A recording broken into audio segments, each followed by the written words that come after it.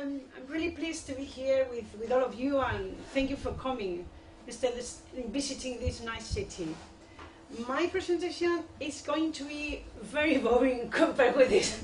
Very nice pictures and, and the subject is, is quite boring compared with that. So if you want to, to have a, to sleep or something, you are, Don't do it. uh, yeah, will ahead. do. Um, I don't know the time, so you five, mi- five minutes left, you, you tell me, please. So, Five minutes cuando before. me falten cinco minutos, Yeah, yeah, yeah. sí. I understand. Yeah, yeah, don't worry, don't worry. Well, I know how to do my job. Thank you. I'm going to speak about archives, about um, uh, the, the municipal archives of Coimbra city, and um, from medieval times to early modern times. And Coimbra is here. It's around here. This is Spain. This is, here is Coimbra. I'm going to give you some general, very general concepts about the City Council archive. The City Council and the archive. The council comes in, in Europe, this is very typical from all of Europe, for asking for council, for, for, for organizing a city. A few men make a meeting and they say what they must do for the city, for rule the city. It was very simple in the 11th century and it was very typical to do the same in many, many countries in Europe. And in this simple meeting, simple at the beginning, at the beginning they were very open, but later with, with the centuries they became more closer with, with a very high hierarchy and oligarchy, etc. But in, in these meetings they began to produce documents. And these documents begin to be kept where? In archives, in arts, in chests. But they don't preserve all, all the documents. They only preserve some documents. The documents they think are important. So you lose many, many documents from a, from a great documental past. You used to have just a few documents. Mm, Even if they are a lot, it's perhaps a 5%, 10%. It's very reduced, and even in this, in this, in the case you have many docu- or a council have produced many documents. I'm going to jump. Oh no, yeah, I'm going to make a little jump. Sorry for you. Close your eyes. Now open. For example, when you have documents from Coimbra, like this, this, uh, these or, or others, sometimes they are not in the in the Coimbra archive, in the same Coimbra. They are in the uh, Arquivo Nacional do Torre do Tombo, in the in the National Archive of Lisbon, or in other archives. And sometimes they have no idea why are they in other places, uh, in other archives. So. Um, it's complicated to follow. Close your eyes. Close your eyes. to follow the the, the, um, the way of a document and why is a document here and not there. And so, um, in this archive, even when Council i- was born in 11th century, and the archive must have born at that time because you need to, to preserve all the documents in a natural way. These archive have only documents since 13th century. Some documents from perhaps they say oh perhaps it's 12th century, 13th century, but 13th century for sure with data. Uh, but from the very beginning they must have had documents. There are some, some examples. Later I will tell you something about that if I have time enough. I'm going to make some mention about the sources I have used and the mentions related with the documents. Um, I have follow up, I, I have researched mentions related with the use of the documents to rule the city. Uh, they used to be administrative and juridical sources. Um, I have found indirect mentions in administrative documents, like uh, os libros de vereações, os pergaminos avulsos, blah, blah, blah, blah, blah, and direct sources only from 17th century. It's a, an inventory book. I'm going to speak about this later. I, I was following these mentions by one side, and by other side, I was following mentions about the verbal information. This is not easy to follow, but the oral transmission of the information and mm, for studying how to rule a city, I think we must study both, even if it's difficult. They are not systematic mentions, but I found one, as for example, in the year 1436, the king allowed men to be judges without knowing reading nor writing, which mm, shows the coexistence between orality and, and writing. Mm, We, I think we must take always into account this kind of, of testimonies that, of that oral tradition for ruling a city. Um, I have looked for the law too, law compilations about archives. And summarizing, they speak about that a council must keep the documents in a, in a chest with two keys. I have data, I'm not going to tell you now, but for you to know the context, that was very typical in Europe and in Spain too. In Spain it was with three keys. Three keys, one key for one person, two keys, two keys for one person. One was an alderman, one was a scrivener, and that speaks about the organization. It, it has a symbolic, juridic, many meanings about the keys. So, mm, it's the number of keys and who had the key, the officers. So when we speak about an archive, we used to think as this kind of archives, the Arquivo Nacional do Torre do Tombo, National Archive of, of Lisbon, a very nice tower, very big palace, very nice. They used to be like that, just simple arcs with keys. And mm, in general, that was happening in Europe because many people find, many documentarist people say, oh, they were hiding documents in a chest. They were not hiding them, they were keeping them. And you can find them in the documentation and you can find it in the law. Mm, And summarizing, the evolution was first they asked for half chests with keys. Later, mm, lockers or um, armchairs, armarios. Later, rooms. Later, buildings, which is natural too. You have at the beginning a few documents, and later, as you have more administrative, um, um, uh, um, ¿cómo se llama? Life. yeah, administrative life in a city, you have more documents, more documents, you need more, keep them more. So, I'm going to quote only two greatest hits about the archival management from medieval to early modern ages in Coimbra.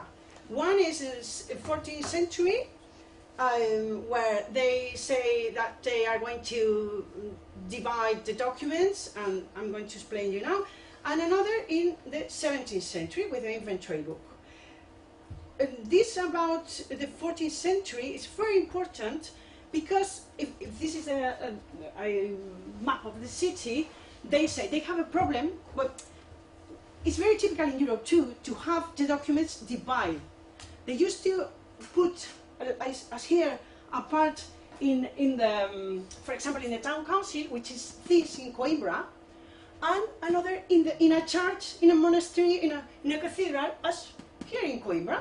And they have the, the municipal city with the documents divided. And many historians have asked about that. Why?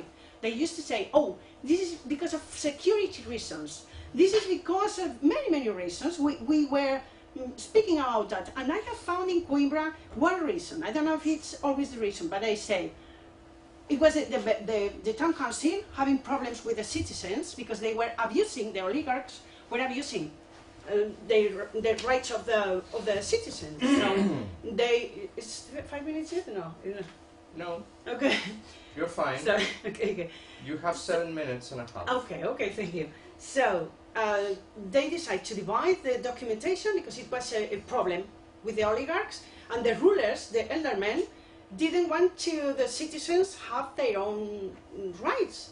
So because of that, they divide the documentation, which is a completely unexpected reason. And they write this. So this is very important discovery. So uh, summarizing for this is the, the um, where the document the, where the documents were kept in this tower. This uh, the, the city council was um, have the the meetings here. Oh, sorry. And this is more pictures about uh, where the documents were produced and um, and, and the chests were and the arm, arm and the wardrobes with documents, etc. And the other hit is the 16th century, the inventory book of the archive. It describes uh, a chest with documents, with sacks, organized in bundles, plus gavetas, lockers. How about the keys? They don't speak about the keys. Uh, so you have always the, the, the information is not always complete. This is a very big problem with the sources speaking about archives because they were interested in the administrative um, information or juridical information, not about the, oh, such a nice document, we must preserve it. No, no. So when you stop using a document, you used to reuse it. We were, we are going to see some example. This is an example of, of the inventory book. There's say a first sack in one chest, so simple. Um, first bundle, muscle, and I'm going to summarize. Um, I was looking for ways to preserve documents, and in the doc in the archive they preserve this this box as a as a book, but you open and it's a book, and they say no that had a very big problems with a wood, wood, woodworm, la carcoma, and they have to these other books shape of books they were boxes of um, tin but another problem, oxidation. But I have only found find these mentions in the 19th century catalogs of the archive, mm. on 19th century and 20th century inventories, and mixing information. So I want to tell you, summarizing, um, that in early modern ages it was very typical to use medieval documents when they lost their administrative um, uh, functionality. Functionality, thank you very much. They they use the um, parchments mm. as a binding, so you can see here the, the shape. Mm -hmm. You mm, you can use it. That they were using as a, a binding. So in 20th century, archivists began to to take out the binding, to put it and make it as an archive, oh, this is another document. Oh. So sometimes you have it preserved together, but um, this is a, um, they have studied them, and but it's a pity because well, it was a very resistant material, so they reuse it, and now they decide to, to take them away. Is it uh, the, the best thing to do with an old document? And, and you put the other document, the, the other book without, for example, without any binding or with a binding with acid paper. Or, I think it's they must study more closely and summarizing. You have many many testimonies about the uses in early modern age of um, reusing medieval documents as the labels, as the, the notations this is of the 17th century book of the Rosetta de Spesa uh, of um, spending money in things. And um, sometimes um, they have reduced the document, but it, the medieval document in early modern age, but the document is still in the same book. As in this, this foral, when you open it, it's a foral of the uh, 16th uh, century, and this is a document, a medieval document. Sometimes you have it. The other they take away. In in Belgium, I think it's in Leiden. In Leiden, it's Erik Kwakkel studying these kind of things, but they are not taken away the bindings. They are studying it with X-rays. So this is non-invasive method. It's quite better, I think. Uh, this is uh, some index I have used to, to follow these mentions of tin books, wooden books, all mentions, and I'm trying to reconstruct how, how mm. they were managing with direct mentions, indirect mentions, and two reflections to conclude. One about theory.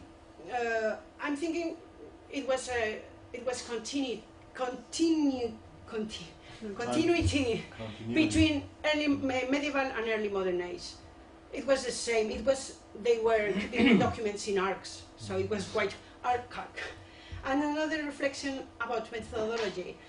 The non-systematic studying I have made uh, have disadvantages because I am reflecting about that too all days, and I think no, because the the, the sources I am studying they are non-systematic registers. They are they have some mentions, so it's quite difficult to to, to follow this to, to make this research.